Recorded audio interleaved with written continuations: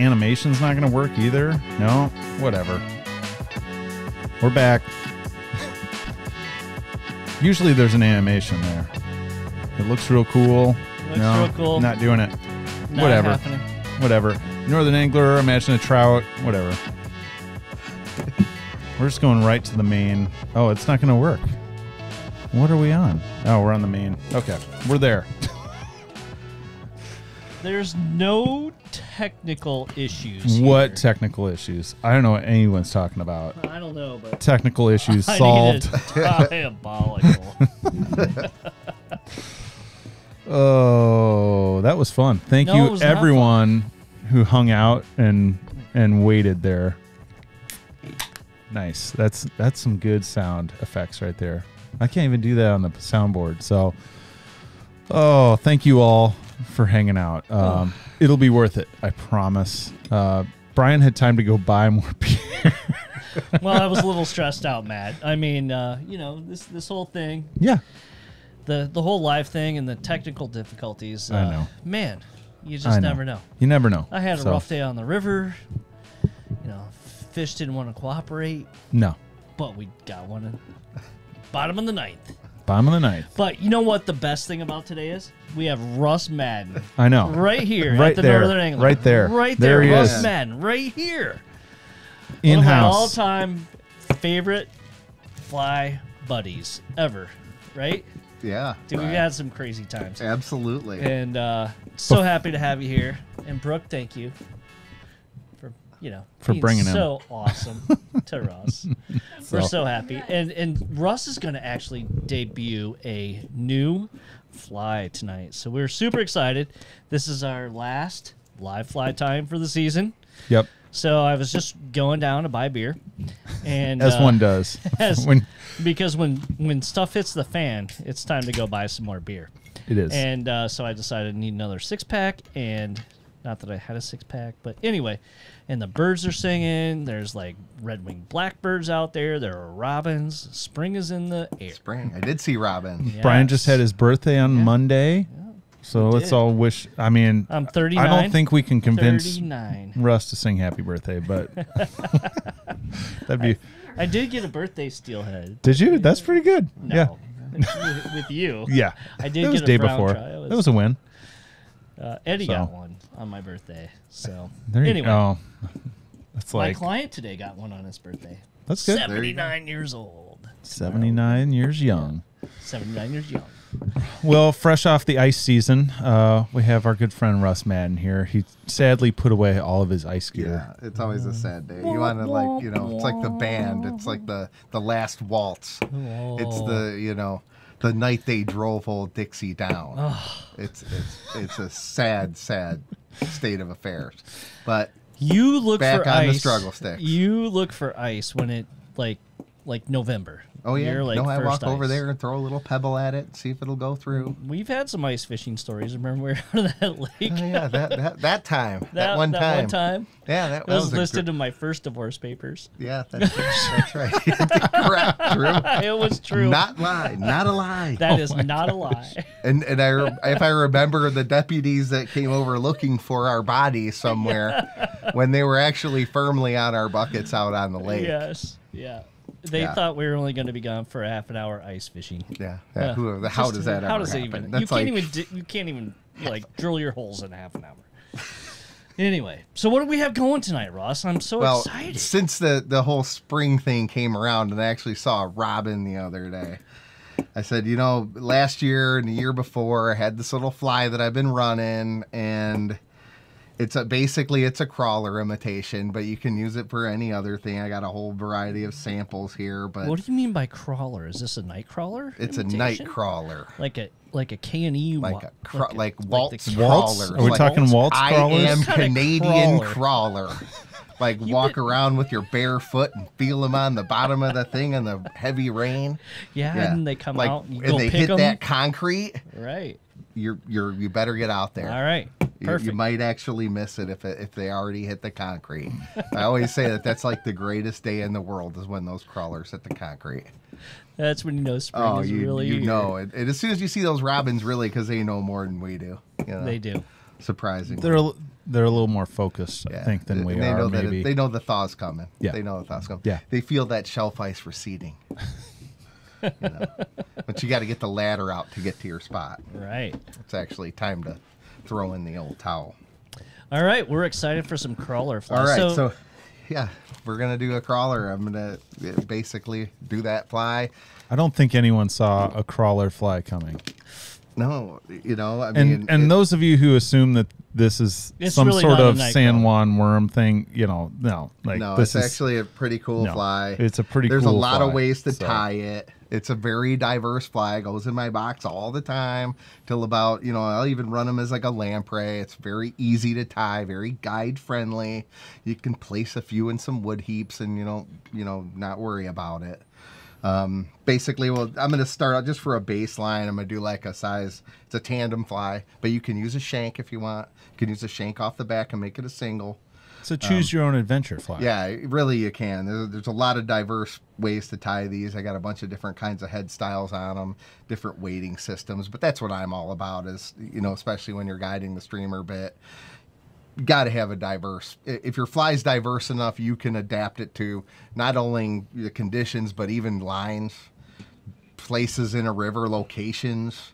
So it's it's this is a very very diverse fly. It's actually uh, been a pretty big standard in my box for a few years, ever since they came out with the voodoo stuff and the barred mirror, barred flashabou.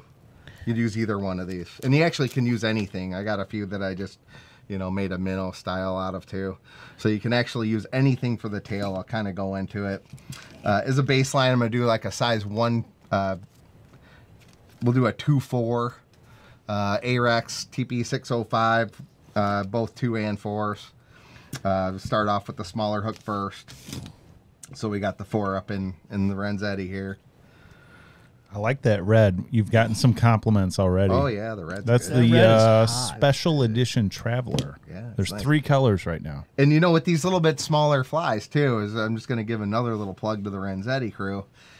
Th- these, the shank vise here is actually awesome when they're doing smaller hooks. That's too. the the game changer jaw. It's the changer the- jaw in yep. there, and it's very very nice for four sixes, your smaller streamer, smaller tandem stuff.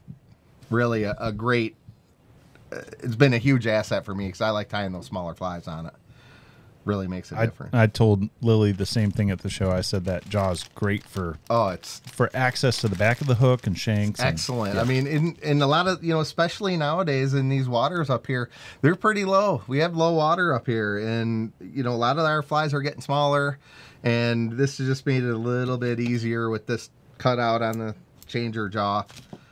Made it really nice. At any rate, I'm going to start off with some buck hair. Believe you guys have some of Wes's stuff here. we do. do. You can uh, Awesome you can Midwest. come into the shop and find it. I don't have it it's great, online yet, but awesome stuff. it's got some really unique colors. Yeah, it's really a pretty cool product. Midwest bucktails. You Get it right here at the Northern Angler. So I'm going to take a little piece of buck here and I'm going to put it off the back end of my 605. I'm going to wrap that in there. And what this is going to do is form a stiffening agent. I always just throw a few locks in there. And that keep keep your buck hair in there so it doesn't fall apart. It's a good little trick and a durability thing. Makes it a little easier when guys are when I'm trying to pull one out of a guy's jacket from a bad cast.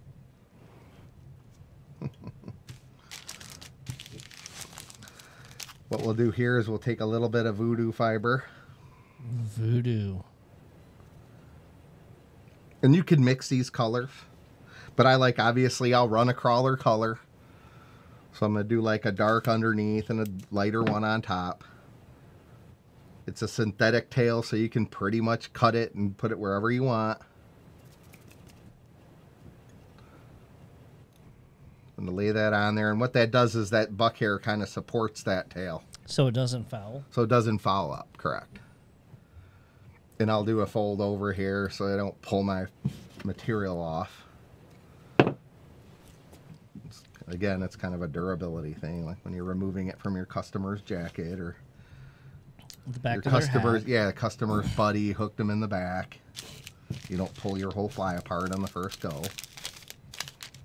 You just bend your hook back and remove the fleece particles from your hook. So you're using two different. Yeah, I'm gonna do two different colors. There's like a variegated brown and a variegated orange, but like I said, any basically I, I'm using this as the voodoo fibers, but you can actually use any type of flashabou, crystal flash, Choose your own adventure again. uh, yeah, any anything that would resemble something that you you know olives, blacks. I got a black one over here. I did a couple white. I did a white one, some tan. Because it's really about the weighting system and the types of lines that you run. But this has been a very easy crawler pattern for me. And again, when you're tying these smaller ones, like on the the two four here, don't want to make this thing way back here because you'll just even though it's a very light fly and the fish will nine times out of ten get the whole thing you don't want to make that too long. So now i'm going to make a body to it. And again i'm using this Semperfli extreme string but you can use variegated chenille you can use Estaz you can use basically any material you can wrap around a hook. This is a guide fly sitting there eating beans and weenies in a trailer in baldwin you can tie this fly with whatever the guy has there Perfect. I'm sorry. Beans Brooke, and weenies. and Brooke is off camera just trying, just snorting Hey, dude, beans and weenies. we did eat a lot of beans and weenies when we lived in Baldwin, and uh, there was some ramen noodles. yeah right And uh, right and sometimes we did make spaghetti with venison. Oh Yeah, my right. gosh, It was, we that's living awesome. large. yeah, Yeah. that's that's good Yeah. it's big time stuff I remember the days of just canned like spaghettios and chili, and you put the can right on the burner. Good Right. times. yeah good put it, times. put it on your ice fish and put it on your little buddy heater cook up some man soup put it under the hood on your drive. Remember when we used to just heat up the soup in the cans Yeah, on the river? yeah, man soup. That's, That's right. You know, that's what Brooke calls it, man soup. That's like the Campbell's That's thick and hearty, whatever. You could eat it with a fork or Heart eat it with a attack in a can. Yeah, right. But at any rate, so what you'll end up with that that extreme string gives you a little bit of texture, but again, if you wanted something a little bit. You know, Ooh. less you can use, uh, you know, the, the chenilles or the Estaz. Got or polar anything. chenille Yeah, there. Sure. It looks like about the same length as a standard right polar. Yeah. UV polar chenille. And what I right? like to do if I'm doing these longer fibers is I'll cut my rear one down a little bit, like in half, you know, probably a third off the top. So when I'm wrapping it, I'll have, uh, you know, it's a little thinner toward the back. Pretty, pretty basic there. Whiting, I got the the Hem dig back. camera on. huh? Yeah. Was it like giving people? Do you guys got to have Dramamine for that? No, it's looking good, Russ. You're doing great. oh my gosh. I added a, a fourth camera because everybody wanted to see what was going on on the desk. So Oh, yeah, there you go. So I just found like kind of a cool looking one from Whiting. You know, this is like a barred kind of burnt orangey. And I'll mix up the colors a little bit so it you know blends in a little different. And you know that when that water starts coming out of that you know these rivers up here in northern Michigan, it does get a little bit tannic there, especially when it's around those swamps. The swamps are getting ready to bust loose. Right. So We when that ice, shelf ice starts going, there's not a lot of snow. There's not a lot of ice. Been kind of a crummy ice season. Made the best of it the past few weeks though. But this color really lights it up out there. You know, yellows, coppers, little bit of burnt orange. That stuff really works good this time of year. And then, you know, if you do a if you decide to make a little bit bigger one, let's say you wanted to do a chestnut, you probably lean more toward that olive. Right. But like I said, you can totally diversify this pattern. Uh, I know some guys that I've introduced this pattern to run these for smallmouth and make them, you know, on like a one at one and have pretty good success with it, or do a one at with a 25 millimeter shank, and that's it's a very diver, very easy fly to tie.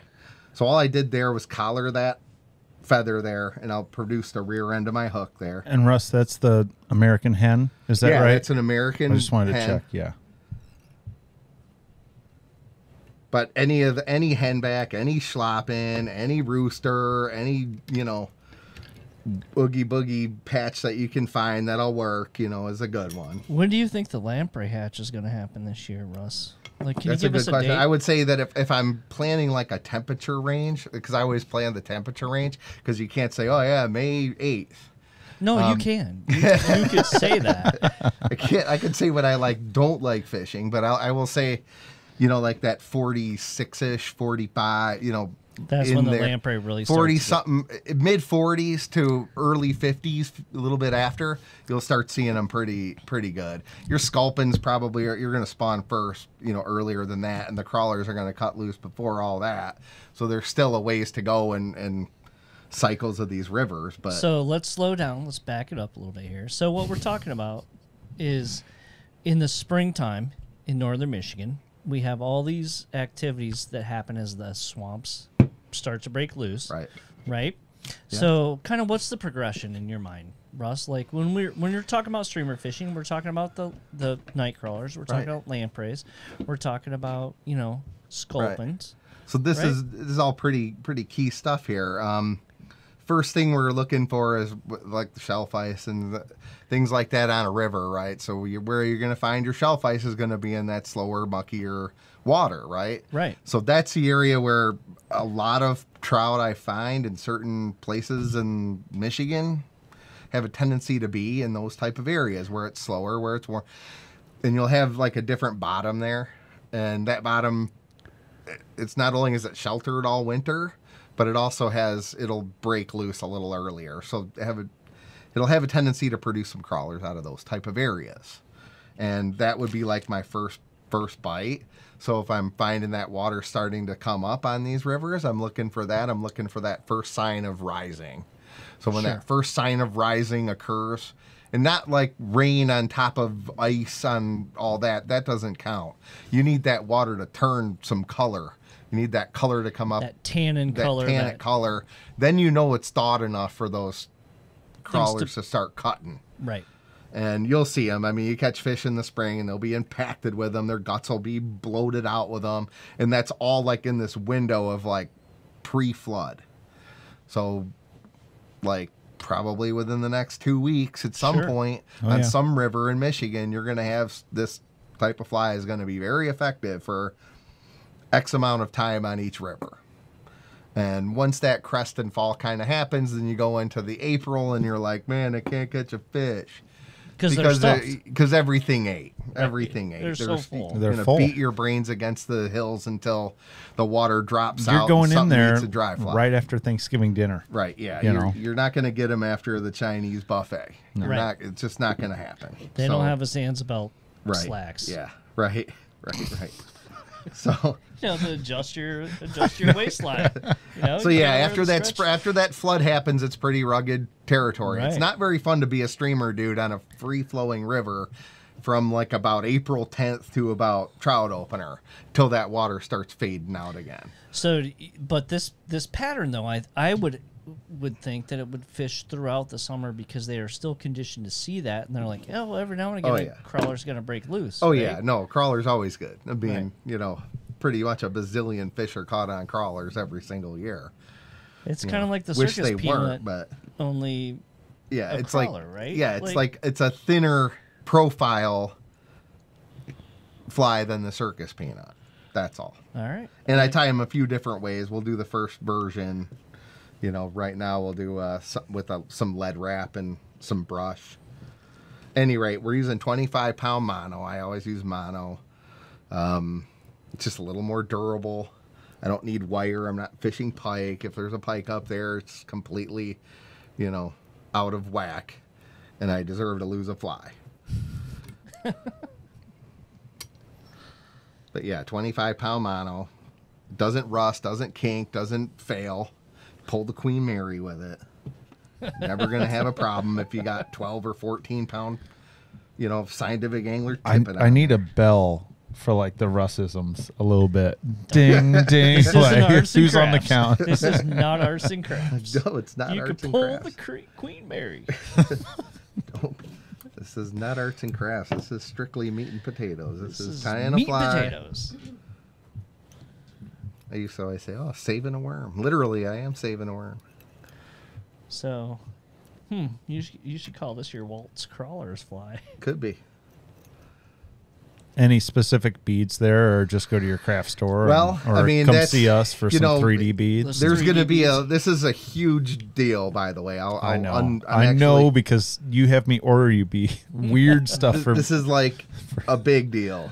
So y- it's a really tough lesson to learn with the spacing of these hooks.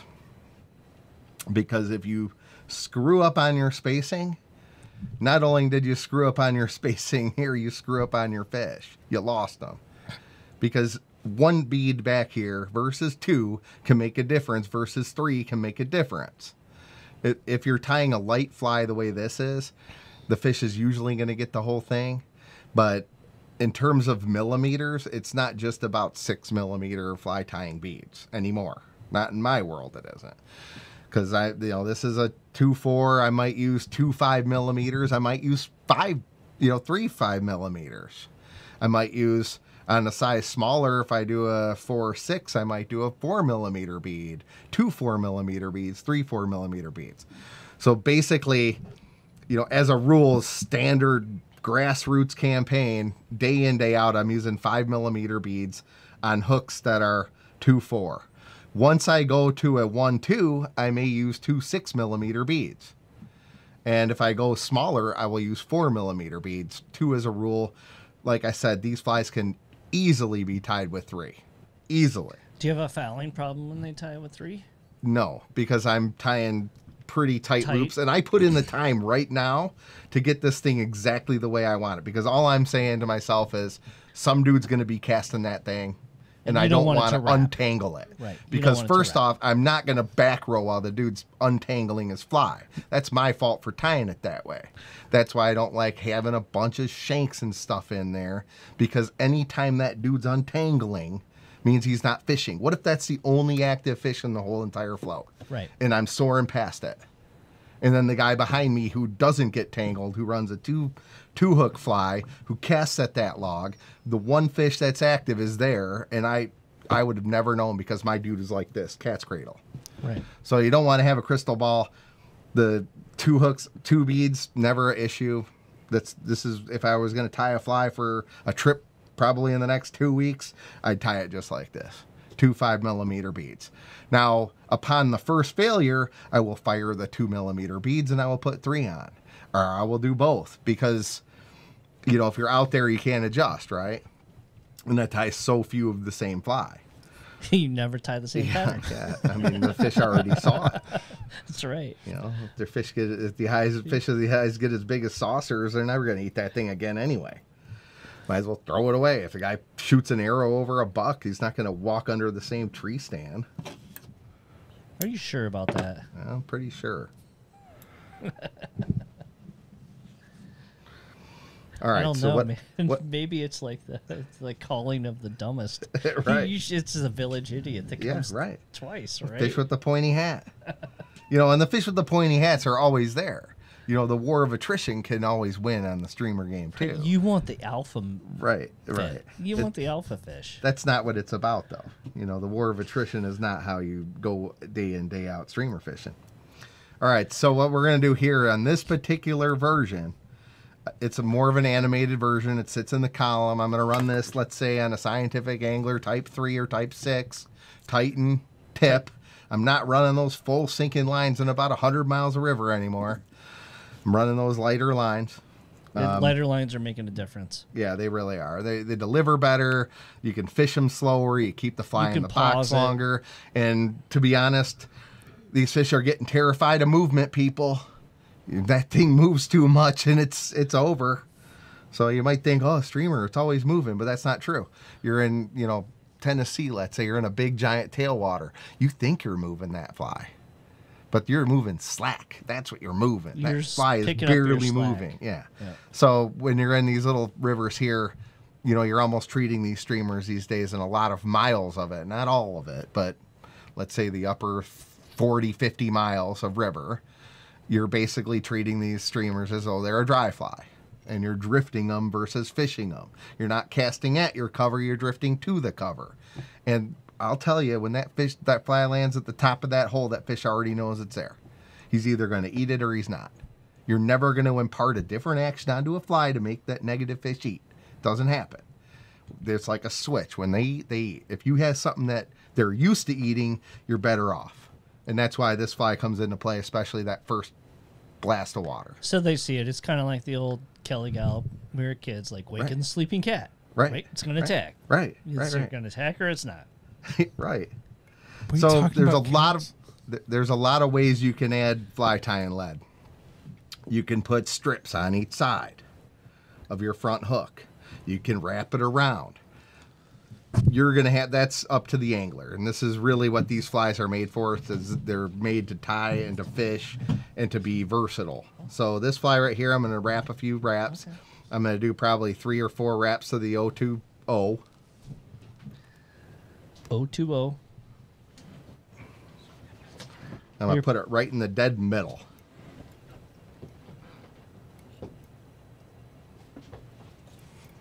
What thread are you using? I run six out for everything. I put that stuff on every. It's like a Tabasco commercial. Six everything.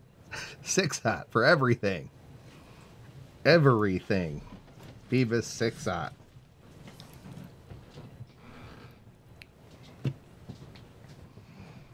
Then I'm going to reattach that extreme string there.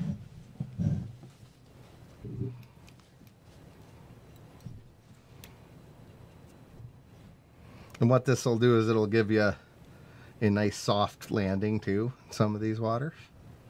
It'll give you a good hover. I'm going to fish this on a, like I said, probably a type 3 or type 6, depending upon. I think this would be a good smalley fly too. Oh, it is. It is. It works great for him. So when you're talking type three or type six, you're referring to the Titan sink tip. Is that right? Yes. Okay. I just wanted to, I'm sure there's people out there curious. That's Yes. the Sonar Titan sink tip is available in two different sink rates, a type 3 and a type 6. And you want them both. You buy two rods and you put one of them on one and you put the other one on the other. And then you put a intermediate on the other and you put a you know still there is no one line that's a streamer line anymore. That doesn't exist. That went away. These things are a huge advantage. So you want to make sure you have a diverse amount of lines flies weighting systems all that. It doesn't matter where you go in the world. If you don't have these, if you go with just hair flies or you go with just lead flies, you'll always be sorry. You'll always be sorry. So you want to make sure you have versatility, and that's where it comes. That's why the vice is so important when it comes to actual streamer fishing. Yep. Mm-hmm. I agree. I I mean- mean, it's it's the difference between having one multi-tool for everything or a toolbox full of different tools, right? Yeah, right. I'm So- trying for my Russisms. I'm Tied, trying. I'm some close. legs in there. Matt, that was really Not bad. insightful. Analogies. I Right. like the analogy. So my Gerber tool doesn't do everything. I should buy Craftsman Well, Right. we're not sponsored by a tool company yet. So Yet. So hang on there. I mean, I could be a tool. I am a total tool. but, you, know, you know. It's okay. All right, so on this, that come I also left it. If you, in case I didn't mention it, I, I left the front part fully long. I didn't cut anything off of it, just to get that taper thick to thin. Threw a few rubber legs in there. Continued on my way, Hmm. I like it. and I'm gonna find another hackle here. Longer, bigger than the, the first one. Gonna have a little more mustard in the front. More mustard. Is Yeah. that like stone ground mustard? More guts. More guts. That spicy mustard. More guts than glory. That Right. I'm a fan of that Coops mustard, that spicier Arizona Yeah, mustard. right. Mm. No one needed to know that, but Oh, we needed to know that. We did. I know what to get you for Christmas now. they probably have a I'm gift gonna- pack. The mustard of the month club. oh yeah, Merry Chrysler. Merry- that too. Chrysler. I like all that stuff. We're doing away with bonuses this year, and we're going to do the mustard of the month club. That's right.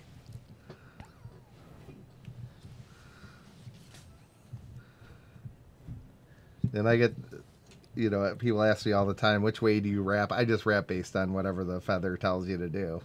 So That's- if it's going one way, that's been one of my feather. favorite tips you've ever given is just listen to the feather. yeah, the feather the If it wants to you. go Material. forward, if it wants to go back, just Right. it doesn't matter. Material tells you everything. Yeah. Russ has always been in touch with the materials. Be one with the material. B1. Obi-Wan Kenobi. All right, so This then one's strong with the last force. piece of this. This is a minnow head brush. Now, this is going to sit in that current a little bit. It's going to hover. So there's not a lot of weight on this fly, but I'm going to tell you right now, just as a little side note, there's weight in every good streamer. Doesn't matter if people say "Oh, I didn't add weight to it. Yeah, you did. There's two hooks on that thing. There's beads on that thing. There's oogie boogie glue that you go like that with on that thing all of its weight. Rubber legs are weight. Beads are weight. Hooks are weight. So there, there's no such thing as an unweighted streamer. Weight on all of it.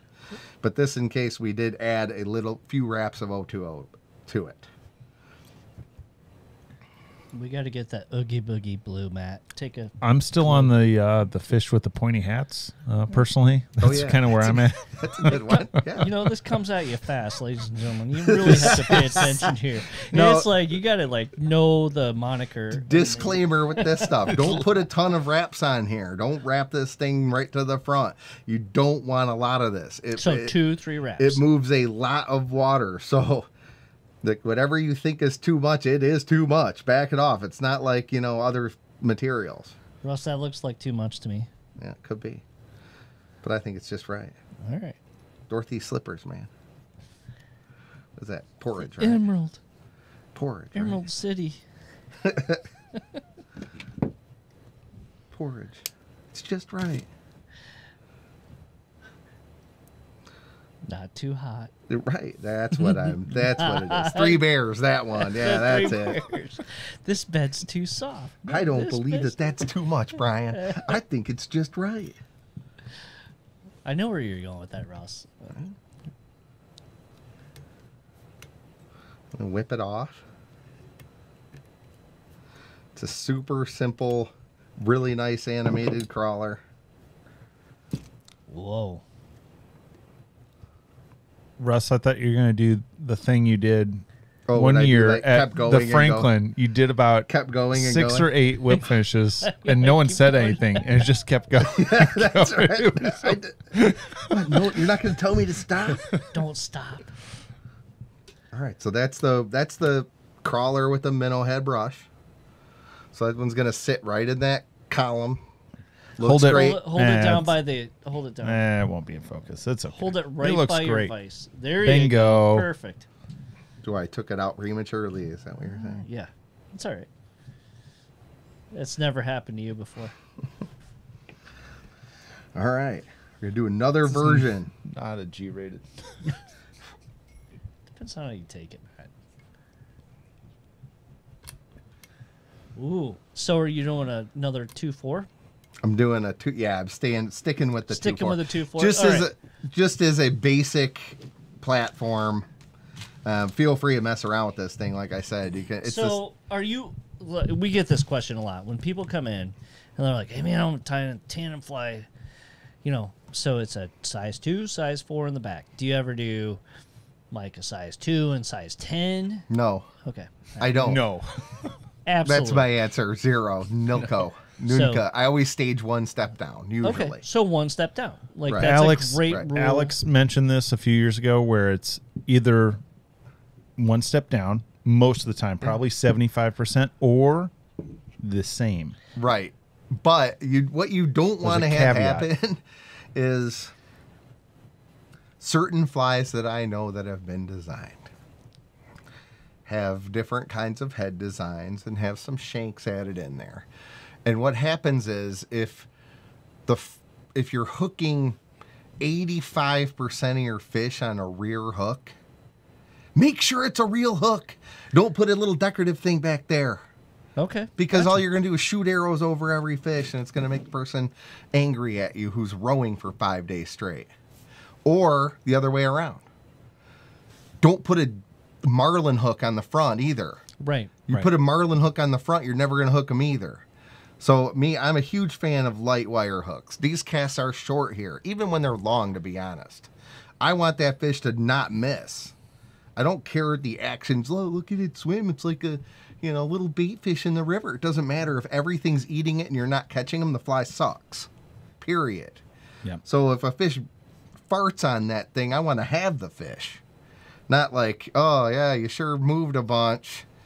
Yeah, you know what You that got means. a lot of window shoppers. yeah, you know what that means? That means I shot arrows over every fish in my stretch, and I'll probably never go there again. You you just gave them all an education. Right? Yeah, you worked Yep. for PETA. That's what you did. You worked for You're fishing for PETA. You taught those fish to never eat a fly again. What are you? Congratulations. You win. Thank for you. You've done us all a service. Yeah, service. you've done great now. Now I'll never eat again, and I can never go there to that stretch again. to go there in the middle of the damn darkness to catch Good one. Good thing now. I never tie the same fly twice. yeah. Right. But even if you had a percent, because that's you know some of the faulty situations that I've seen. right. Big giant front hook. Oh, enormous. Tiny itty bitty ditty ditty back hook.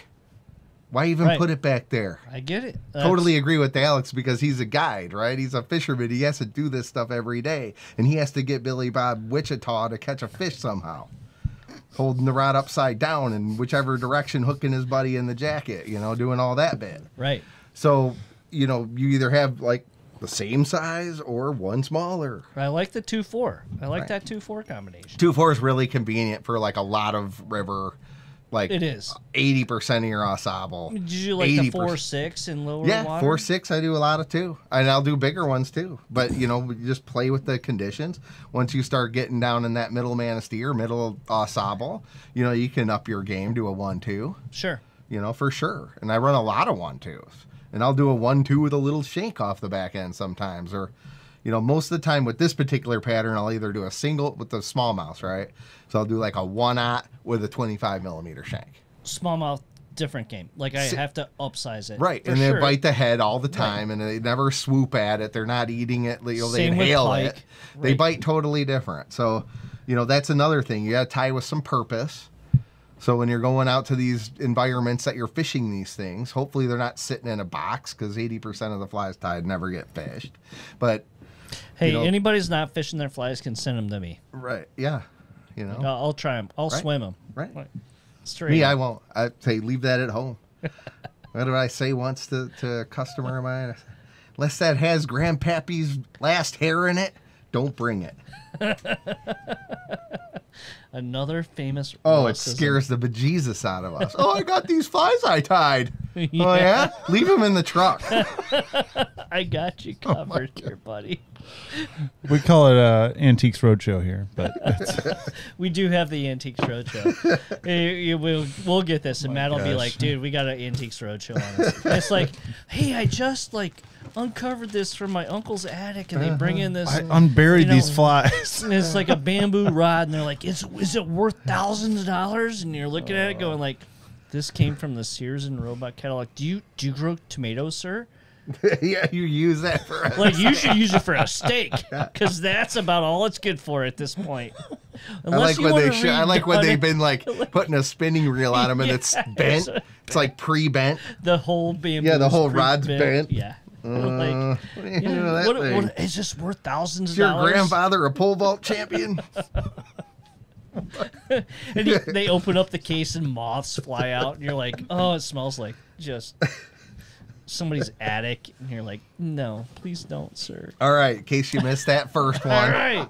This is basically going to be pretty similar in construction. Putting the buck hair back here.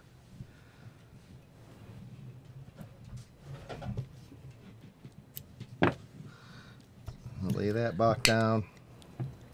Lay that funky music, Russ.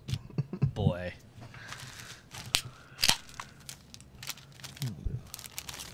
Ooh. Using a burgundy thread? Is that wine? It's a, a downtown brown. Oh.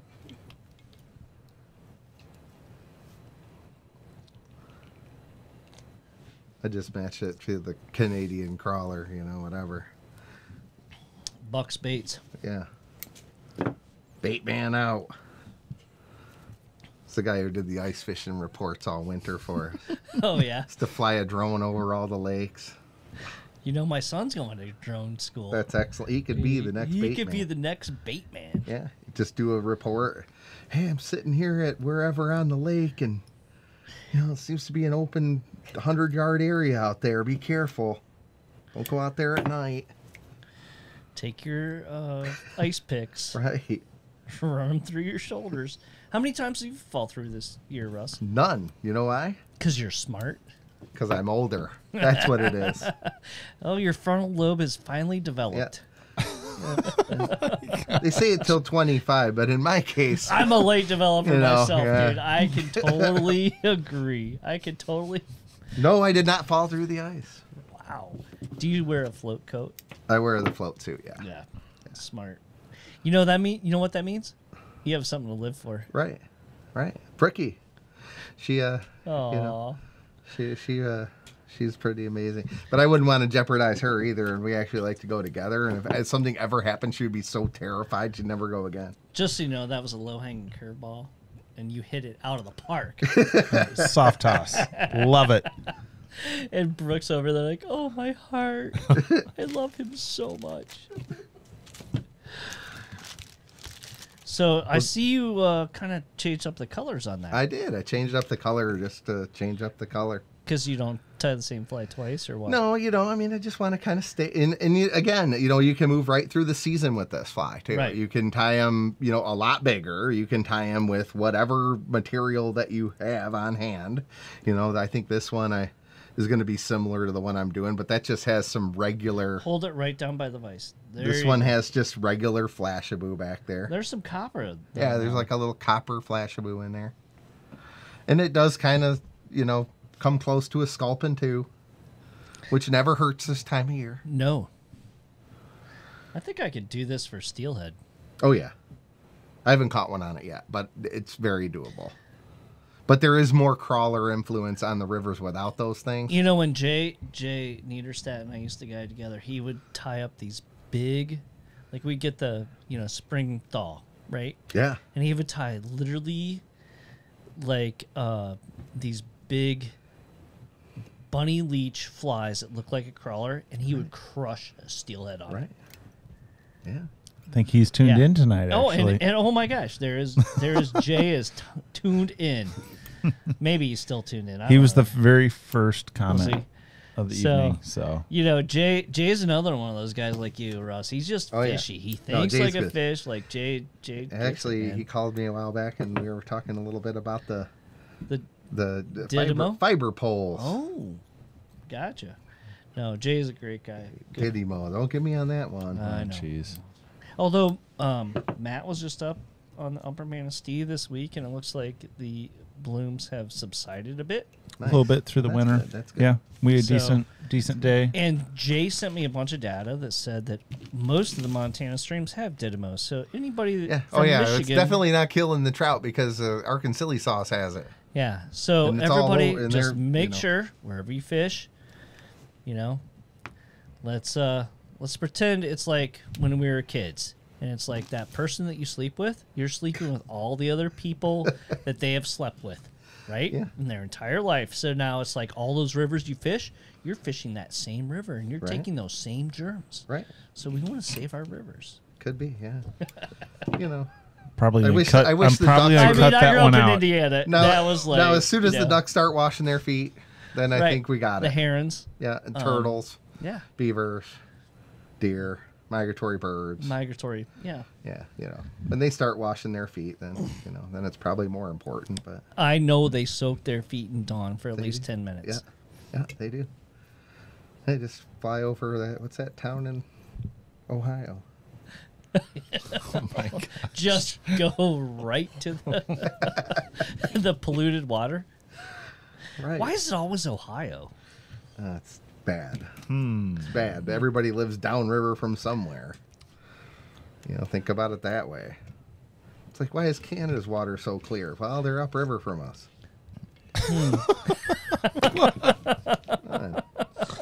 Not rocket science. How many towns are up there? Few. Well, how many are?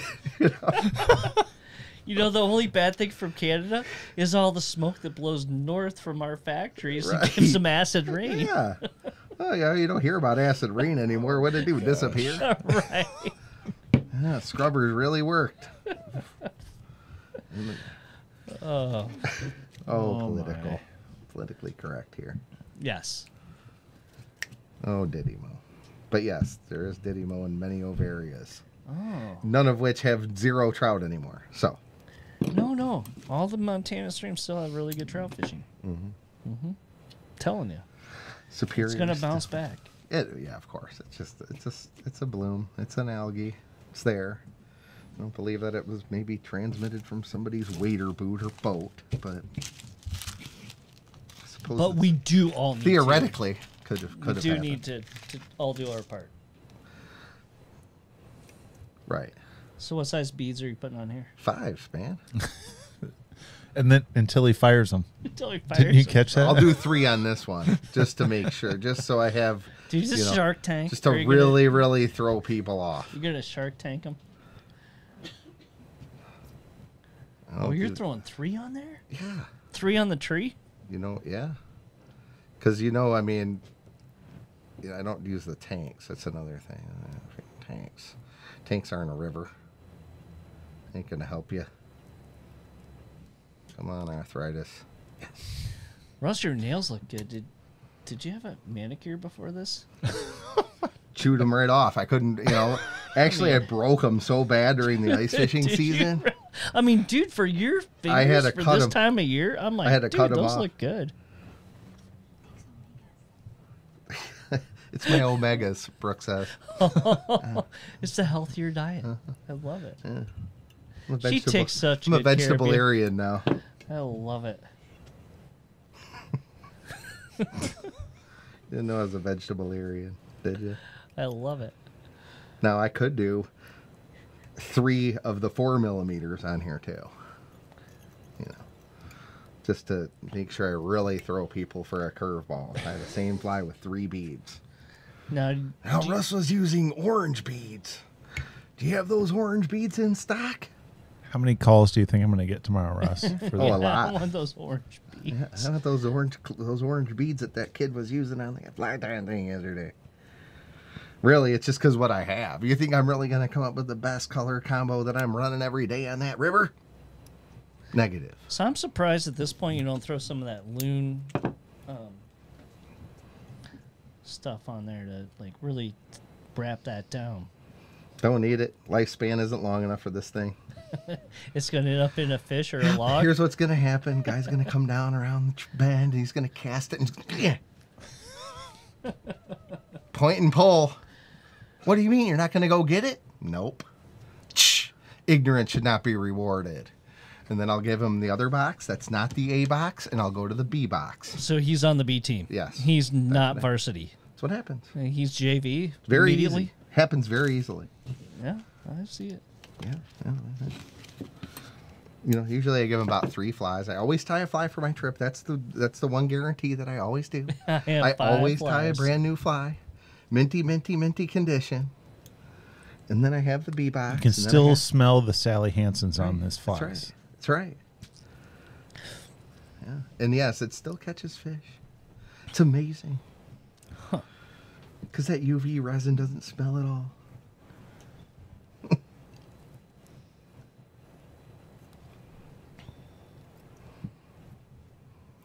so I'm going to stop that halfway. And I'll So is go- this like a crawler laying eggs? No. But it looks like that. Of It's like the only proper place to ever fish a bead, or ever the use of a bead in fly fishing is strictly right there. That's where it's used. I would absolutely agree with that. Now, if you're running a weight propelled system, then that's different. But in actual fly fishing, I fished a lot of flies like that in Alaska with Beads in the beads in the middle. so in this one, I'm gonna put lead eye. and eggs. Yeah, put lead eye in there. Lead eye on bottom of hook, and you could tie that first in there if you wanted to, or after you join your fly together. And that's on the bottom of the hook. Yep, bottom of the hook. And those are the smalls, These are extra small. extra small, double pupil hairline, I guess. lead eyes. Matt knows. I just said, oh yeah, these red would be pretty cool. And it'd be they're nice. Just called Casey. Hey, grab me some eyes. Yeah, I did. Then I realized they weren't painted or nothing. Oh, What did you know? But he did deliver. He delivered the eye. I'll do black on this.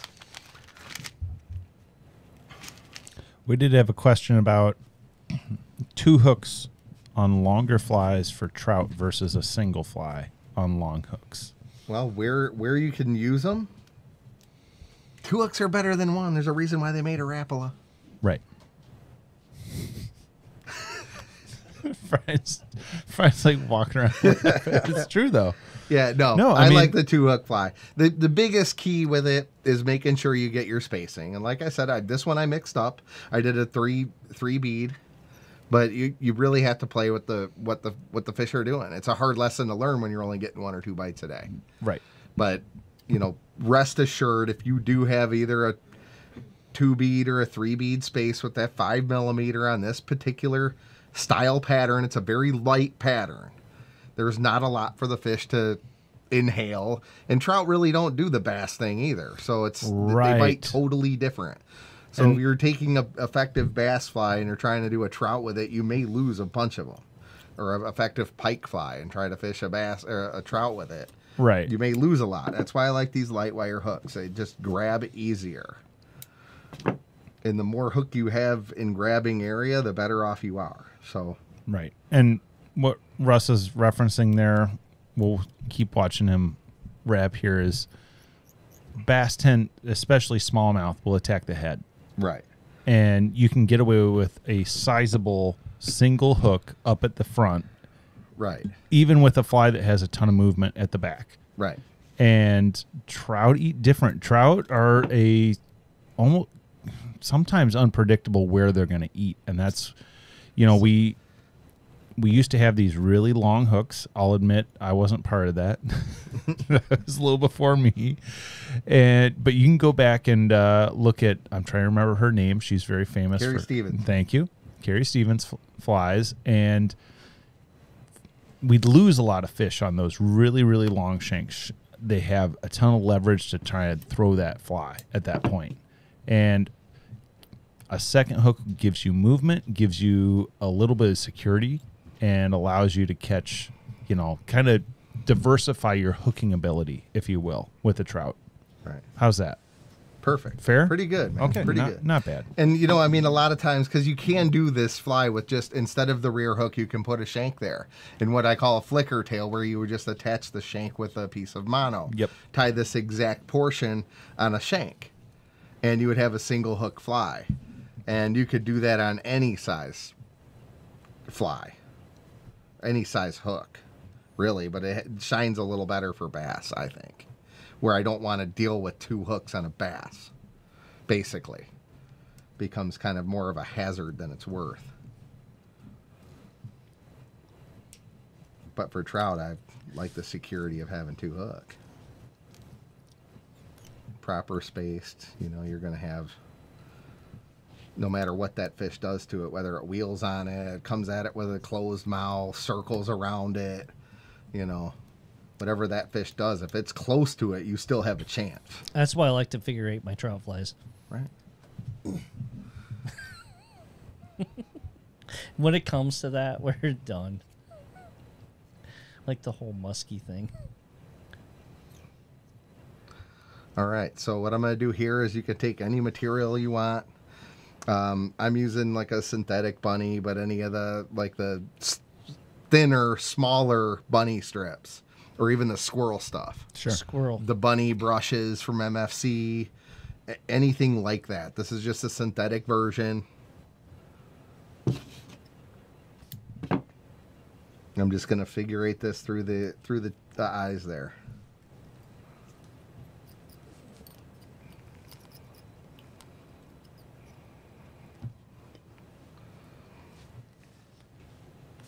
And we'll get a nice little head on there.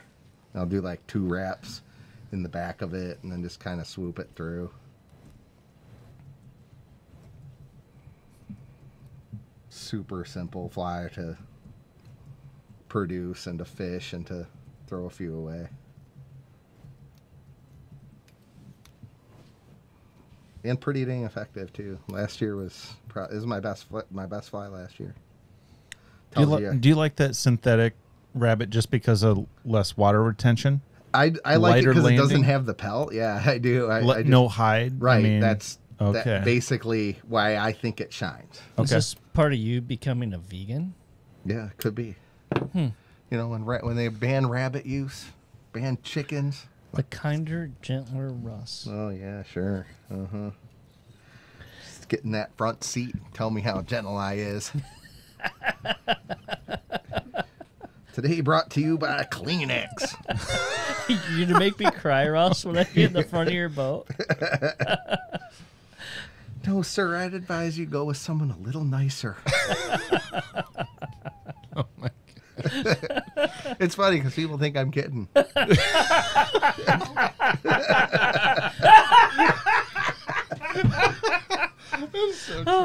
But it's so true. Matt You know- says it's so true. Oh no, but I know. Yeah. The funny thing is, whenever you say something with a smile, people think you're kidding. I know. That's right. No, no, I'm not. That's serious. Oh my gosh. That's Did you take your Geritol today, sir?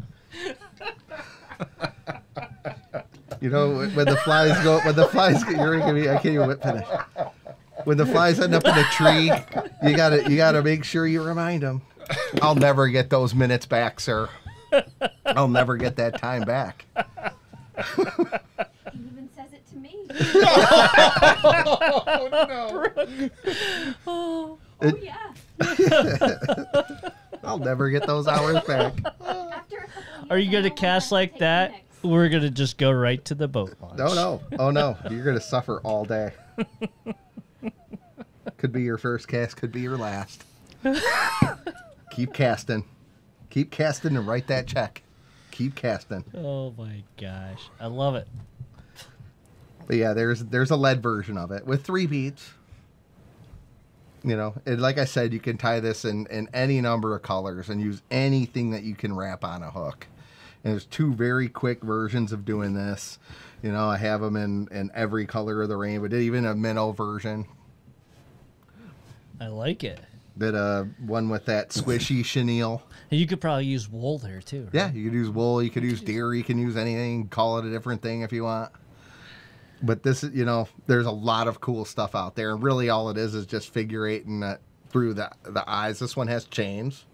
If you talk about just diversity, it's the same exact pattern, just with different materials, different weighting systems, different line. You know, you can really fish this thing from eight inches long if you want. I only fish it. I pretty much fish these about maximum size for trout, but I will do some shank ones this year for, Really? for bass. Yeah. Zero reason why they won't pretty much shine for for species in the river, especially in the spring here. Nah, man, that those are great patterns. This is the most I've laughed at a live fly time. The most you know I've what? been stressed at the beginning and then like Uh, total can't- just You gotta laugh. It's gotta fly laugh. tying. it's fly Dude, it's time. fly time. How- We're, it's fishing fun. it's not Right. arts and crafts. We You- put the fun back in fly fishing. You have at the to. Northern You Angler. have to. You know. you have to laugh a little. You can't take yourself that Fly seriously. tying. Seriously, dude. It's like, come You on. know. It's it's our- appreciate appreciate everybody watching, but it's fun. you know, I mean, it's it's just a means of production. I say it all the time, everywhere I go. It's a means of production. You know, fish these flies. That it's it's the last advantage you have fishing these days. Right. You know, if all casting's the same, all rowing's the same, th- this really it comes from this vise. The vise is where you get all your power in your mind to come up with things that are going to solve a problem for you. You know, so that's it's really just a tremendous advantage in, in fishing, and something you know that I I tie flies every day. I tie flies every day, um, still to this day, and I'll tie flies every day for a trip too. I at least tie two. The guy's gonna get a new fly every single day. You know, probably something that the world might have never seen before. So Yeah, and it's something I mean, there's nothing more exciting than going to the river yourself. and You're fishing for your on your day off, and you tied yourself a new fly. Absolutely. That's right. It, it's you can't look you can't look past the new fly at the flies you've had in your box for you know months and months Right. and months. You It's- can't it look never past do- the new There's one. no point you in can't do stocking a box full Nope. of nonsense. Nope. You're better off tying three good ones for the day. the I'm gonna go day. home right now, and I'm gonna tie some flies for my trip tomorrow. Right? right. You know, like I do it every night. Yeah. It's like it's what you do Yeah, before you you, go to to, bed. because you- right, that's and the- it's like it's it's part of the the preparation. Right. And you know, it's part of as a guide. You want to do that, You right? have to. I mean, And if there, who? I mean, honestly, if I, I Laram and really, I used to do this. you have to tie You flies. have if you're a flies. guide and you're not tying flies, it's And then if you're not fishing something new every day, like and your client asks you, "Oh, have you ever caught a fish on this?" No, because I've never tied it before. But Right. today is going to be the day, right. right? It, and a lot of it, you know, in the streamer game is is strictly mental. So if you have a fly that, oh man, my guy really likes looking at that fly. Right. He's fishing it pretty good. He's casting it. He has some confidence He has in some your confidence. Yeah. It- that Confidence makes is a difference. key. It makes a difference. No, but it's all part of the process, Yeah. right? Like it is seriously all part of the process. Like Mm-hmm. it's all part of the, like for me, you know, like like you as a guide, like you go home, you have your, Got to tie a fly. like how do you not tie flies? Oh, it's crazy. It's. I mean, I, I go out of my way to like make sure that the people that I actually fish with in other parts of the country, like, hey man, do you tie flies? You know, yeah, because it's like that big of a deal. right, Because if that guy's going to a bin, right. you know he's got the fly, right? You Right. know, people, No, yeah, it's so fifty people have the same fly. There's only a couple hundred fish. There's only a hundred deer in that woods. I'll never know. forget I was on the Madison years and years and years ago, right? And and um, I'm working for Simms at the time, and we're doing this thing, and uh, Chris Martin's guiding for Kelly at the time, right? And uh, Chris is like, "Dude, what's going on?" I'm like, "Man, we can't catch fish. We I've got this like Comparadun sulfur," and he literally hands me a fly that is like two color shades different than the ones that are in the fly bins. He's like, "Let me see what you're throwing." He's like, "Yeah, this is off." and he gave me one fly and we caught fish on that fly until we lost it. Right. and that was the only thing that worked. That was like cracking the code. Yeah. and that's like why you hire a good guide. Chris Yeah, martin that- was like save my day that. Right, like that's- and i know- was like not even trying to guide you know i'm not guiding obviously but i'm, I'm you know like out there fishing but he saved the day of me catching fish I'm like, how do you catch fish on the mess? It's like this, and I mean, I'm not kidding you. It was like a two shade difference. Right. That's that's the That's how. So dialed in you get. It's like today, if you're on the water. right? You know, you're on the water every day. You're Like you don't want to take a day off. Like I don't want at this point in time, with my fish season, I don't want to take a day off. You know, I'll come in at night and do like what I need to do with Matt. Like Matt, you need to come in, and help me pack orders, whatever. I'll do it, but I don't want to take a day off because now you get dialed in and you're like, oh, I got to. I, well, this is happening. I can see this. I can see these fries. They're Right. getting crushed. Like I'm pretty sure. And then when you crack that code, you're like, yeah, Right. rock it out. But that that's what it's and about. And then your clients are like, dude, that rocks. Right. What are you using? The old guide, you know, that's what that's what you're using. That's why you're a guide. yeah. What are you Right? using? A guide. It's not about you know, you're using someone who's out there all the time. You know, that's what you're using. You're using You know, when I was a kid, I used to take my Rapalas and I would color them up. Right? I'd take a, like a mat, I'd take like a Sharpie magic markers and I'd color them up, and you'd catch more fish than the guy on your lake. You know, because I didn't know how to tie flies then. You know, I, I wasn't a fly fisherman, and you like, dude, what are you doing coloring purple on that? right. They know. haven't seen it. They haven't seen it, and I'm catching more fish than you. Right. There's something to be said for that. You gotta tie a fly. It's And- the last advantage you got. If all rowing if all rowing's the same, if all rowings if all guides suck at rowing and all fly fishermen cast suck at casting, the only thing you have is a fly. Period. If everybody sucks at rowing and everybody sucks at casting, the only thing you got That is a fly. separates you and success is the fly. Right. Right on. Hey, mean, thanks a lot, Russ. Man, we've had a blast This is a really fun doing one. this tonight. This you, was a, you sound you sound are you melancholy? yeah. I think you're kind of Wrapping the wrapping the season up. wrapping the season up. I think Matt's a little melancholy here, everyone. I'm gonna have to take this over because uh, you know you know we've overcome some serious adversity tonight, and, and uh, we're just we couldn't be more happy to to, to close out our season uh, with Russ and uh, live fly tying. So thanks everyone for tuning in um, all all winter, and hope you go back and watch these videos afterwards, and uh, Yeah. check out our YouTube channel. It's time to Check go out our fishing, podcast. everyone. And guess what? It's springtime. Yep. The bluebirds are here.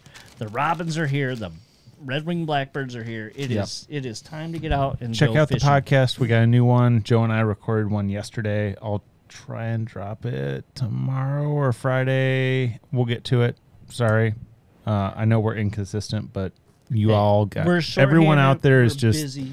Thank you for that. Thank you Thanks. for your business. everyone so much for the support we've had. Tons of people come up to us at the show at you know just call and say thanks and it feels good. It feels like we're doing something right. So, All right. Awesome. Russ, anything you you want to plug? Yeah, dude. Fair game. no, I did. I kind of hit my guys today, so I'm All right. pretty happy. The amount of hashtags we're getting through here, we're having like a hashtag contest. Uh, Yeah. What is it? Billy Bob, Billy Bob Wichita's winning Yeah, at this that's a good one. Billy Bob Yeah, that's- Wichita. that's a good one. That is a really good one. trout with ha- pointy hats. Is the second. yeah, that's a good one. You know, everybody Oh. likes trout with pointy hats. Right. I've said it in a Uh, few and then the videos. one with uh, Grandpappy's hair is Yeah. is Well, that's up there. classic. It That's- is a I- classic. Actually, one of my customers made me a bumper sticker that said that. Are there more? no, I think Oh. there's only one. But I could probably contact him. Well, He may be tuned in. Do you think I can license that for the shop and use that? I mean, I would love that. I think You know- I think people would buy that. I I, Unless it has Grandpappy's last hair in it, don't bring it. I like it. I That's think it. that's better than uh, the the bumper sticker. My one of my clients gave me. You know, it's not the fly you suck. Yeah, that You could know, be too. like- That's that could be. But that, I like casting. that. If unless it's tied with your grandpappy's last hair, don't bring it. It's true. True. Maybe we'll have to add I that to our gonna have to add confirmation letter Yes. for cut trips. Oh my gosh! like to thank everybody for watching though out there and Yeah. putting up with the difficulties of the morning or in the beginning there. Yeah, you kind of have to read through all the shenanigans, but and yeah, awesome evening. We saw some fantastic flies. Tie some flies. Get out there, get fishing, and uh, check out Russ. Uh, I'll put some links in the in the description below. He's active on Instagram and Facebook, uh, and uh, just a great guy. Tons of knowledge, and we really, really appreciate him. One of my support. famous, favorite, and famous humans on Earth, right here. Infamous.